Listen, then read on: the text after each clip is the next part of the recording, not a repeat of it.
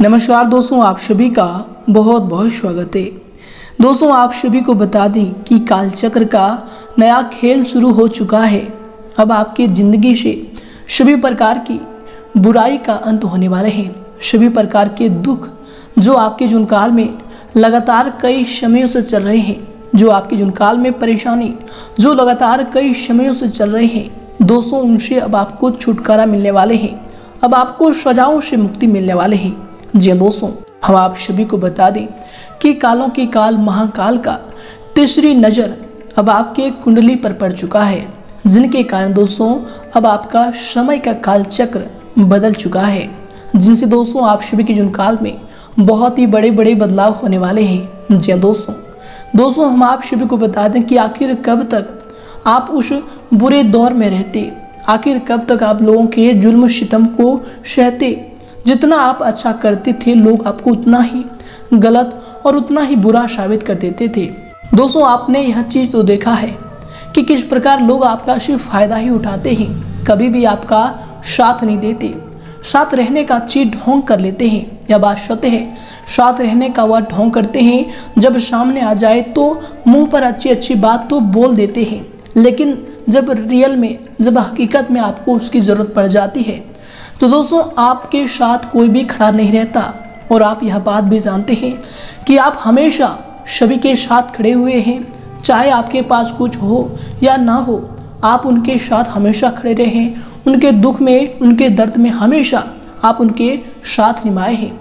लेकिन दोस्तों, जब भी आपका बारी आती है, जब भी आपका समय आता है साथ देने का, साथ निभाने का तो दोस्तों, कोई आपका साथ नहीं देता। अकेले ही आपको अपने मुसीबतों का सामना करना पड़ता है। जी दोस्तों तो दोस्तों, ऐसी ज़िंदगी में आप कब तक रहते? इसीलिए दोस्तों, आने वाले आठ से दस दिनों का जो समय होगा, आपके लिए बहुत ही बड़ी महत्वपूर्ण समय रहने वाले हैं। जी दोस्तों यश में आठ जगहों पर आपको आठ बड़ी खुशखबरी मिलेगी और आठ जगहों पर आपको सावधानियाँ भी रखनी होंगी। जी दोस्तों तो दोस्तों ऐसे में आज का यह वीडियो आप सभी के लिए बहुत ही ज़्यादा महत्वपूर्ण होंगी और बहुत ही ज़्यादा लाभकारी होंगी आने वाले आपके भविष्य के लिए। तो दोस्तों, आज के इस वीडियो को आप बिल्कुल ही मिस ना करें और शुरू से लेकर अंत तक ज़रूर देखिएगा। जी हाँ दोस्तों, सर्वप्रथम जो भी भगवान भोलेनाथ के महाकाल के सच्चे भक्त इस वीडियो को देख रहे हैं, दोस्तों, वीडियो को एक प्यारा सा लाइक ज़रूर करें और कमेंट बॉक्स में सच्चे मन से जय भोलेनाथ ज़रूर लिखिएगा।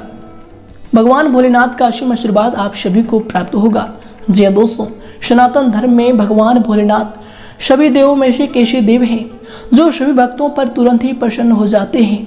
सिर्फ़ बेलपत्र अर्पित कर देने से भगवान भोलेनाथ प्रसन्न हो जाते हैं। सच्चा श्रद्धा रखने से भी भगवान भोलेनाथ प्रसन्न हो जाते हैं और जिनके भी जुनकाल में अपनी तीसरी नज़र खोल दे, उनके जुनकाल से सारे अंधियारा दूर कर देते हैं। दूर दूर तक कोई बुराई नहीं दिखता। और दोस्तों, अब आप सभी के जून काल में भी भगवान भोलेनाथ का तीसरी नज़र खुल चुका है।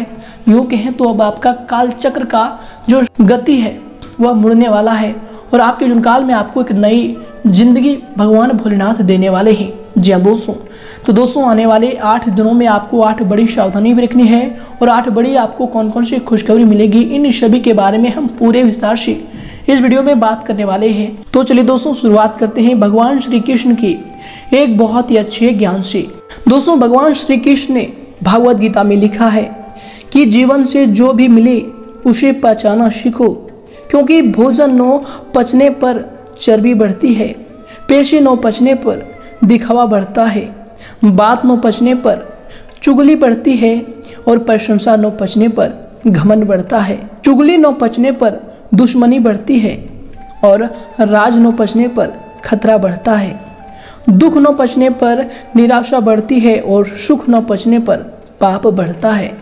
तो हमेशा हर मनुष्य को अपने जुनकाल में, जीवन में जो भी चीज़ मिली, उन्हें पचाना, सीखना चाहिए, सहना चाहिए। जी हाँ दोस्तों तो दोस्तों, भगवान श्री कृष्ण का यह परम ज्ञान अगर आपको अच्छा लगा हो, दिल को छू लिया हो तो दोस्तों, वीडियो को एक लाइक ज़रूर करें और इनके लिए कमेंट बॉक्स में लिख दें, जय श्री कृष्णा, राधे राधे।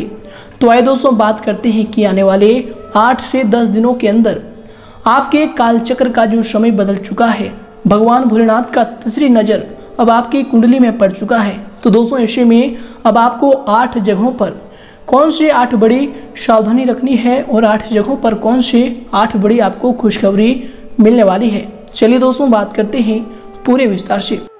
दोस्तों इसमें आपके व्यक्तित्व और वाणी द्वारा लोग आपसे प्रभावित होंगे।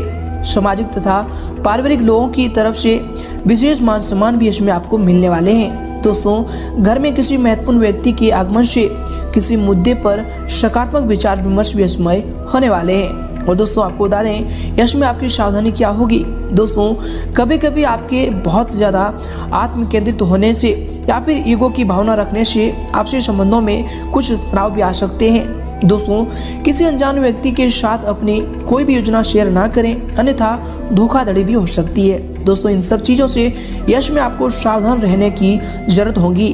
और इसके उपरांत दोस्तों, यश में जो ज़िम्मेदारी आपने खुद को कर ली थी, दोस्तों, आपको बता दें कि उसी ज़िम्मेदारी संबंधित आपका उत्साह यश में कम होगा। और काम संबंधित रुचि भी कम होने की वजह से काम की क्लैरिटी पर इसका असर दिख सकता है। तो दोस्तों, इन सब चीज़ों पर यश में आपको ध्यान देने की आवश्यकता होगी। परिवार के लोगों के प्रति आपकी नाराज़गी भी बढ़ेगी। जब तक बात को आप खुलकर नहीं बोल पाएँगे, तब तक लोगों को आपके विचार समझ पाना कठिन हो सकता है। तो दोस्तों, सभी के साथ खुलकर बोलें, ये आपके लिए समय बेहतर होंगे। और इसके उपरांत दोस्तों, आपको बता दें कि यह समय भाग्य उन्नति के शुभ अवसर भी बन रहे हैं। दोस्तों, कुछ समय से चल रही चिंताओं से आपको राहत मिलेगी।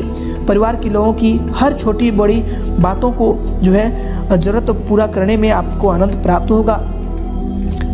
इसके उपरांत दोस्तों, यश में कुछ विरोधी भी आपके ऊपर हावी होंगे, परंतु आपका अहित यश में नहीं कर पाएँगे। आपको बता दें कि जल्दबाजी और अति उत्साह में बना बनाया खेल भी बिगड़ सकता है। यह समय संतान का अड़ियल तथा जिद्दी रवैया भी आपको परेशान कर डालेगा।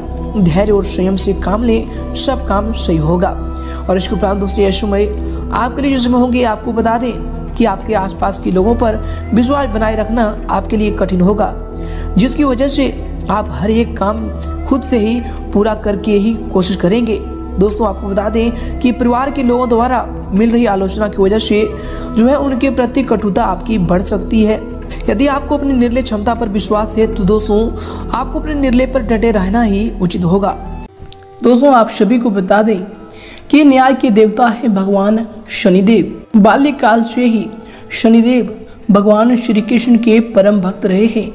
जो लोग पुराणों की कथा सुनते हैं, इष्ट देव की आराधना करते हैं, भगवान के नाम का जप करते हैं, तीर्थों में स्नान करते हैं, किसी को पीड़ा नहीं पहुंचाते हैं। सबका भला करते हैं। उन पर शनिदेव अनिष्टकारी कष्ट नहीं देते, बल्कि उन्हें सुख प्रदान करते हैं। तो दोस्तों, अब आपको अपने जीवन काल में इन सभी बातों का ध्यान रखना है और भगवान शनिदेव का आशीर्वाद प्राप्त करना है। तो दोस्तों, उम्मीद करते हैं कि आज का यह वीडियो आप सभी को पसंद आया है। पसंद आए तो दोस्तों, वीडियो को लाइक कीजिएगा, साथ ही शेयर करना ना भूलें। चैनल को भी सब्सक्राइब कर लें, ताकि और ऐसी जानकारियाँ आप तक सबसे पहले पहुँच सके। धन्यवाद आपका समय शुभ रहे।